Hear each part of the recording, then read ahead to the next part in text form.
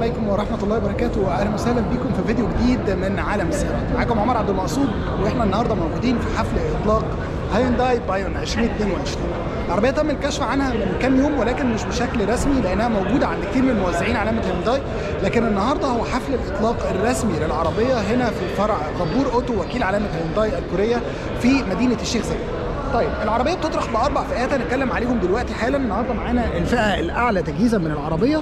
وزي ما قلت لكم أربع فئات بتطرح بيهم العربية. الفئة الأولى سعرها 299000 جنيه. الفئة الثانية سعرها 200 325000 والفئة الثالثة 345000 والفئة الرابعة والأعلى تجهيزا اللي هنتكلم عليها النهارده بسعر 365000 جنيه. طيب بشكل سريع كده هنتكلم على التجهيزات الخارجية ومنظومة الحركة في العربية والتجهيزات الداخلية جوه العربية كمان. بشكل أساسي عندنا منظومة الإضاءة الأمامية بيبقى فيه عندنا إضاءة نهاريه موجودة سلام بتبقى رفيعة بالشكل اللي إحنا شايفينه ده من فوق. ومن تحت عندنا عندنا الوحدات الخاصة بالإضاءة الرئيسية الأمامية اللي بتيجي الإضاءة بتاعتها LED بداية من الفئة الثانية والثالثة والرابعة. أما في الفئة الأولى فبتكون الإضاءة بتاعتها هالوجن مع فتحات للتهوية موجودة هنا وشبكة أمامية من ال piano black أو البلاستيك الأسود اللامع وحساسات ركنة أمامية موجودة في الفئات الأعلى تجهيزا من البايون لكن مش موجودة في الفئات الأقل أكيد. وال diffuser بيجي بلون رصاصي فاتح مختلف عن لون العربية مع فتحات تهوية سفلية وفتحات تهوية موجودة في الشبكة الأمامية مع تصميم ملفت للنظر جدا يعني مستوحى زي ما كانت بتقول هيونداي من ال i 20 ومن الهيونداي توسان في mix كده لطيف للعربية. العربية في المقام الأول بتبقى بتستهدف الناس اللي بتدور على عربية خفيفة ورشيقة وبتستخدمها استخدام يومي وعربية مدينة في المقام الأول. هي city car في المقام الأول بتنافس فئة ال subcompact crossover مبنية على طول أو مبنية على قاعدة عجلات أو ال wheelbase بتاعة ال i20 اللي هي الهاتشباك ولكن هي نازلة بشكل crossover زي ما إحنا شايفين في الفيديو كده. طيب عندنا كمان أماكن للحماية أو بلاستيك للحماية موجود هنا وموجود كمان بيكمل معايا عند أقواس الكاوتش والعتب بتاع الباب من تحت وكذلك ال diffuser الخلفي من من ورا. الكاوتش بتاع العربية بيجي مقاسه 205 على 55 والجنط بيجي 17 إنش two tone زي ما إحنا شايفين في الفئات الأقل بيكون الجنط 16 إنش. المرايات الجانبية قابلة للطي اوتوماتيكيا مع فتح وقفل العربية وفي جواها إشارات جانبية بتيجي الاضاءه بتاعتها. LED وهنلاحظ كمان وجود ال blind spot detection أو نظام كشف النقاط العمياء اللي بيميز عوامل السلامه والأمان هنا في الفئة الرابعة والأعلى تجهيزا من البايون هنلاحظ كمان المراية بتيجي ب cover من ال piano black أو بلاستيك الأسود اللامع اللي بيكمل معايا كمان عند السقف. العربية بتيجي بلونين أو two tone العربية نفسها السقف بيجي بلون أسود مختلف عن لون العربية زي ما إحنا شايفين. وعندنا roof racks موجودة. هنا برضو بتيجي باللون الأسود ولكن ال matte مش اللامع. الاريال بيكون اريال عادي مش انتنه زعنفه قرش وبيجي عندنا ترمات من الكروم موجودة كده بتشكل ال frame السفلي اللي موجود حوالين الإزاز الجانبي بتاع العربية. الإزاز الأمامي بيكون مش فاميه لكن الإزاز الخلفي بيكون فاميه وكذلك الإزاز الخلفي تماما بيكون فاميه في العربية في كل فئاتها. عندنا كمان diffuser عندنا عفوا spoiler خلفي موجود هنا مثبت جواه الإضاءة التحذيرية الخاصة بالفرامل اللي بتيجي LED طبعا ال spoiler ده بيكون ملحوم مع السقف زي ما إحنا شايفين بيدي منظر شيك للعربية. مفيش فتحة سقف نهائيا في العربية في أي من الفئات الأربعة اللي بتطرح بيهم العربية هنا في السوق المصري. ولو رجعنا كمان كده عند مقبض الباب هنلاحظ وجود ال keyless entry أو دخول العربية بدون استخدام المفتاح لباب السائق وباب الراكب الأمامي. وطبعا ده مش option موجود في كل الفئات بيبقى موجود في الفئة الثانية والثالثة والرابعة. لو رجعنا لورا كده هنلاحظ منظومة الإضاءة الخلفية اللي بتيجي LED بالكامل شكلها مميز تصميمها مختلف تماما ملفت للنظر جدا. هنلاحظ إنه باب الشنطة بيجي كمان two tone الجزء ده بيجي بلون أسود. عنده علامة هيونداي مع الكاميرا الخلفية تحت منه والجزء اللي بعده بيجي بلون العربية باللون الأزرق زي ما إحنا شايفين. عندنا طبعا حساسات ركن خلفية موجودة هنا وال diffuser الخلفي اللي بيجي بلون الرصاصي الفاتح شكله كمان مختلف ومميز والإضاءة اللي بتبقى على اليمين هنا سواء الإضاءة الخاصة بالرجوع للخلف أو الإضاءة الخاصة بال fog light الخلفية بتكون الإضاءة بتاعتهم الاثنين هالوجين باب الشنطة بيفتح بشكل طبيعي يدوي مفيش فيه أي أفكار أو كهرباء أو كده. عندنا مساحة الشنطة 411 لتر مستغلة بشكل كامل قابلة لتغيير العمق بتاع الأرضية بتاعتها. وده كمان عندنا رف ده بيتشال بشكل ذكي جدا في الجزء ده. لو أنت عايز تستغنى عنه أو عايز تطلعه بالشكل ده علشان تستغله ككفر أو تستغله كرف عايز تحط عليه أي حاجة خفيفة. لو أنت مش عايزه خلاص بترجعه تاني مكانه بالشكل ده فبالتالي ما تحتاجش ما تحتاجش تشيله بره العربية.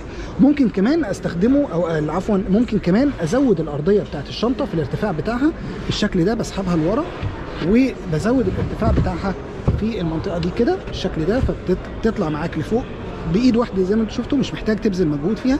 أو لو عايز تزود العمق كمان ممكن تغير إنك تشيلها بالشكل ده كده وترجعها لورا. بالشكل ده. طبعا الاستبن موجود في الجزء السفلي تماما للعربية اللي هو المنطقة دي. ده كده الاستبن اهو زي ما إحنا شايفين بتاع العربية. بيجي طبعا بجنط احتياطي أكيد. والأرضية دي فيها أماكن أو hooks لتثبيت أي حاجة. وأماكن جانبية كمان للتخزين. مكان للطفاية ووحدة إضاءة هالوجين صغيرة موجودة جوه الشنطة. 411 لتر مستغلة بشكل كامل. طيب آه، عندنا كمان ال bar LED موجود هنا واصل ما بين الفانوسين الخلفيين اليمين والشمال بيدي منظر كمان شيك للعربية وزي ما قلت لكم الازاز الخلفي بيجي فوميه مع مساحات خلفية. تعالوا نركب جوه ونشوف أخبار المساحات إيه. مبدئيا الباب كله بيجي من البلاستيك زي ما إحنا شايفين كده كله من البلاستيك ولكن ال material بتاعته material آه، نظيفة في الملمس بتاعها وكمان في التثبيت بتاعها. يعني ما تحسش ابدا إن هو بلاستيك رخيص أو بلاستيك أي كلام. فدي حاجة يعني في الفئة السعرية والحجمية بتاعت العربية تعتبر حاجة كويسة. آه، بتميز العربية لأنه في العادة ما بيبقاش في الفئة السعرية دي ما بيبقاش ال material أحسن حاجة. طيب آه، الفرش بيجي من القماش بالكامل زي ما أنتم شايفين كده إحنا هنا في الفئة الأعلى ومع ذلك الفرش بيجي من القماش بالكامل. ما عنديش مسند إيد خلفي والكنبة الخلفية آه، قابلة للطي 40 60 بالشكل ده علشان تزود مساحة الشنطة. لكن طبعا الجزء ده ده الجزء بتاع الرف. لو انت حاطه هنا بيقفل لو انت شلته خالص بيفتح معاك على الشنطة مباشرة. فالكنبه الخلفية قابلة للطي 40 60 مفيش مساند إيد خلفية. في أماكن لتثبيت مقاعد الأطفال أو الايزوفيكس وعندنا كمان زي ما قلت لكم ال- ال- الفرش بيكون من القماش بالكامل. تعالوا نقعد كده ونشوف أخبار القعدة في العربية إيه. مبدئيا القعدة إلى حد ما مريحة زي ما قلت لكم العربية مبنية على طول قاعدة عجلات أو على قاعدة عجلات ال i20 فبالتالي هي تعتبر هاتشباك ولكن هي من الارتفاع بتاعها مع المساحات الداخلية بتديك تنافس في فئة ال crossover أو ال subcompact crossover مساحة الركبة آه، إلى حد ما واخدة صابع في الكرسي نفسه فيه curve فأنا قاعد مرتاح إلى حد ما. العربية زي ما قلت لكم هي عربية مدينة في المقام الأول. آه، عندنا كمان فتحة USB Type A موجودة هنا نفق الفتيس مش مرتفع للدرجة فبالتالي ممكن تقعد في النص مرتاح. ال console الوسطي كمان يبقى طالع لقدام. دي كده أنا قاعد وحاطط رجلي على نفق الفتيس زي ما أنتم شايفين. فبالتالي القعاد في العربية مش هيبقى صعب قوي للأشخاص الكبار أو البالغين أو الطوال في الحالات اللي زيي ولكن على المسافات الطويلة ممكن يعني إيه تحتاج تنزل تريح شوية من العربية. طيب آه من قدام تعالوا نطلع قدام كده. ونبص بصة سريعة. مبدئيا زي ما أنتم شايفين كده من بعيد شاشة عدادات بتيجي digital شاشة العدادات هنا بتيجي digital في الفئة الأعلى فقط أما بقية الفئات بتكون شاشة عدادات آه، عقارب عادية. شاشة العدادات ال digital دي بتبقى هي نفس شاشة العدادات الموجودة في الهيونداي توسان. بالظبط نفس ال software ونفس الشكل ونفس كل حاجة مفيش فيها أي اختلاف. آه، طبعا بتيجي آه، قابلة لتغيير الألوان أو ال mode بتاعها والثيم بتاعها كمان. وبتيجي مقاسها 10 وربع انش 10 point 25 على ما أذكر آه 10 وربع إنش. وشاشة ال infotainment system بتبقى موجودة بدايه من الفئة الثانية بتيجي 8 إنش. بتدعم ال Apple CarPlay وال Android Auto وطبعا ال sensitivity بتاعت ال touch بتاعتها بتبقى عالية. يعني أنا جربت العربية من شوية لكن هي دلوقتي فصلت. لكن بشكل عام ال infotainment system بتاعها مش مختلف خالص عن ال infotainment system الموجود في عربيات هيونداي بشكل عام سواء ال CN7 أو الهيونداي توسان آه، ال material المستخدم في العربية بشكل أساسي كله من البلاستيك زي ما إحنا شايفين. الجزء ده كله الطابلوه من القدام بيبقى من البلاستيك. كل ده بيجي من البلاستيك. آه، فتحات التهويه تحس إن هي ممتدة على الطابلوه الأمامي ولكن هي أربع فتحات تهويه فقط ولكن بتدي منظر شيك شوية ولكن برضو بتيجي من البلاستيك زي ما إحنا شايفين. التكييف بيجي آه، مش منطقتين بيجي منطقة واحدة ولكن بيجي آه، أوتوماتيك. وشكله كمان شيك مع أزرار وعقارب موجودة هنا أو يعني زي أزرار علوية وسفلية كده شكلها شيك. وعندنا فتحتين USB واحدة للشحن وواحدة دي للشحن ودي لتوصيل التليفون مع فتحة 12 فولت. مع شاحن wireless موجود هنا في الفئة الأعلى مع ambient light داخلية بلون واحد باللون الأزرق زي ما إحنا شايفين بتبقى موجودة هنا في المنطقة دي موجودة كمان عند الأبواب. عند الدواسات بتاعت البنزين والفرامل عند كمان مساحات التخزين اللي هنا وموجودة كمان في المنطقة بتاعت الباب من هنا. ده هياخدنا للباب الباب بتاع السائق بيجي من البلاستيك والبطن بتاعه من البلاستيك. الحاجة الوحيدة الجلد اللي بتيجي في الباب هنا من الجلد هي المنطقة دي منطقة الكونسول اللي موجود على الباب اللي ممكن من خلاله اتحكم في الإزاز الكهرباء اللي بيجي أوتوماتيك. في آه، إزاز السائق فقط. أما بقية الإزاز فبيكون إزاز عادي وممكن التحكم في المرايات الجانبية من خلال وحدة التحكم الموجودة هنا وممكن كمان أقفل أو أفتح بالشكل اللي أنتم شايفينه ده.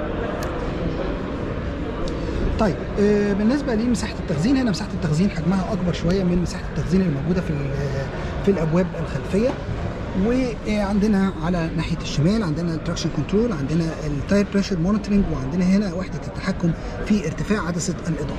عجلة القيادة نفس تصميم تقريبا اللي موجود في الهيونداي توسان عندنا على اليمين ال cruise control مع ال lane keep assist أو مساعد البقاء في الحارة المرورية زي ما إحنا شايفين كده مع ال cruise control ووحدة التحكم هنا في ال menus اللي موجودة في الشاشة آه، بتاعة العدادات. وعلى الشمال عندك وحدة التحكم في ال infotainment system بتاع العربية وطبعا فيها voice command أو أوامر صوتية. الإضاءة بتيجي أوتوماتيكية والمساحات كمان بتيجي أوتوماتيكية يعني عندنا sensor للإضاءة و sensor للمطر. ده هياخدنا لعوامل السلامه والأمان في العربية. عندنا حساسات ركنة أمامية وخلفية بالإضافة كمان لستة air bag موجودين في العربية اثنين أمامي اثنين جانبي في الكراسي واثنين آه، ستائري موجودين في القوايم الأمامية. لكن ده طبعا في الفئة الأعلى. بعد كده الفئة اللي بعدها أو اللي قبلها بتنزل آه، آه، اثنين air bag يعني في أربعة air bag بعد كده في الفئة الأولى بيكون اثنين air bag فقط. عندنا آه، كمان tire pressure monitoring اتكلمنا عليه. اتكلمنا كمان على ال blind spot detection اللي هي آه، نظام كشف النقاط العمياء في جنب العربية في المرايات الجانبية. والمراية الخلفية بتيجي تعتيم ذاتي زي ما إحنا شايفين كده بتبقى فر- ب frame ولكن تعتيم ذاتي بالشكل اللي إحنا شايفينه. طبعا مفيش فتحه سقف في العربية نهائيا ولا في أي فئة من فئاتها والشماسة هنا بتيجي آه، بمراية ولكن بدون إضاءة. وهنا كمان نفس الحكاية بمراية ولكن بدون إضاءة لا فيها إضاءة هنا تصدق؟ في هنا إضاءة صغيرة كده موجودة علشان الشماسة. أو في هنا كمان إضاءة sorry. طيب. عصاية نقل الحركة سن آه، ال look بتاع ال sensor الأمامية وطبعا هنا الحركة بيجي بحارة واحدة زي ما إحنا شايفين. فرامل الإيد للأسف بتيجي يدوية مش كهربائية مع اتنين cup holder وال material المستخدم بالكامل من البلاستيك زي ما إحنا شايفين ومسند الإيد القابل للاطاله بالشكل اللي إحنا شايفينه ده مع مسند أو مساحة داخلية تحت منه علشان لو عايز تحط أي حاجة مفيش فيها أي option إضافية هو مجرد مساحة تخزين فقط مش أكتر من كده. gloves box كمان بيفتح بشكل soft أو بشكل ناعم وبيقفل كمان بشكل ناعم ف gloves box مساحته كمان كويسة. وعندنا طبعا هنا ال infotainment system زي ما اتفقنا فيه بلوتوث system وفي كمان Apple CarPlay و Android Auto تعالوا نطلع قدام ونبص بصة كده على الموتور بتاع العربية ونتكلم على منظومة الحركة فيها سريعا. منظومة الحركة في العربية مكونة من المحرك اللي قدامنا دلوقتي ده محرك 4 سلندر 1400 CC تنفس طبيعي. بيبقى متوصل على نقل حركة أوتوماتيكي من ست سرعات أوتوماتيكي تقليدي عادي تماما. المنظومة دي بتطلع قوة حصانية بتوصل ل 100 حصان وعزم بيوصل ل 134 نيوتن متر عند 1400 لفة.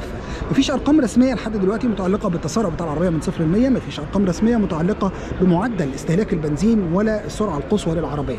ولكن إن شاء الله مع أقرب تجربة قياده للعربية هنتعرف عليها بشكل مفصل. في طبعا تصفيح كامل أسفل المحرك وده باين من عندنا من هنا بالإضافة كمان للبطانه اللي موجودة هنا علشان العزل الخاص بالمحرك. ومفيش طبعا آه، حاجات نرفع بيها أو مساعدين لرفع الكبوت ولكن عندنا العمود الأساسي اللي موجود هنا. طيب آه، أبعاد العربية عشان ناس كتير سألت على أبعاد العربية. أبعاد العربية هتكون كالآتي. طول العربية الإجمالي 4 متر 81 سم وعفوا 4 متر 18 سم دي الأبعاد بتاعت العربية اهيت 4 متر 18 سم والعرض الكلي للعربية هيكون آه، متر 55 سم والارتفاع الكلي للعربية هيكون متر و50 سم طول قاعدة العجلات 2 متر 58 سم من قاعدة العجلات يعني من المسافة من العجلة الأمامية للعجلة الخلفية بتكون 2 متر 58 آه، سم وارتفاع العربية عن الأرض 16 سم ونص. ارتفاع العربية اللي هو الخلوص الأرضي أو أكتر نقطة ممكن العربية تكون مرتفعه عنها عن الأرض بيكون 16 سم ونص. دي كده آه، سريعا تغطيتنا لهيونداي آه، بايون 2022 بشكركم جدا على متابعتكم.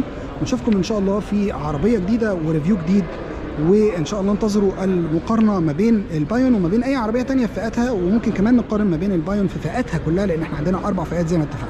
اشوفكم على خير إن شاء الله في فيديو جديد. مع السلامة.